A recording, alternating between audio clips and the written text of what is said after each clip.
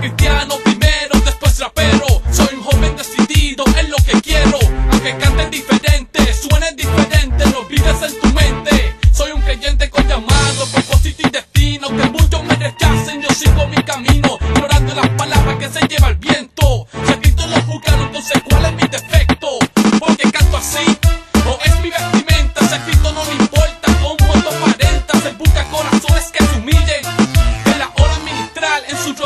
brillen con su presencia y que vea la audiencia. No es como tú cantas, sino la obediencia.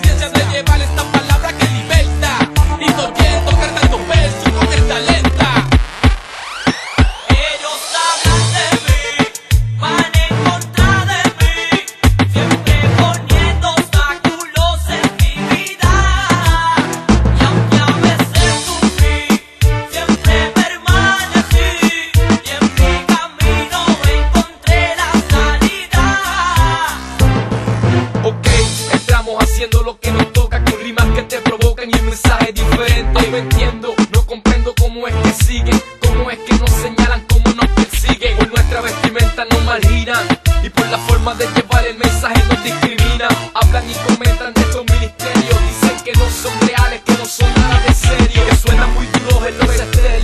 Y no se dan de cuenta que a diario se llenan los cementerios. Jóvenes que no encontraron la salida, tal vez no tuvieron el brillo en este mensaje de vida. Que cambia, que restaura, que transforma y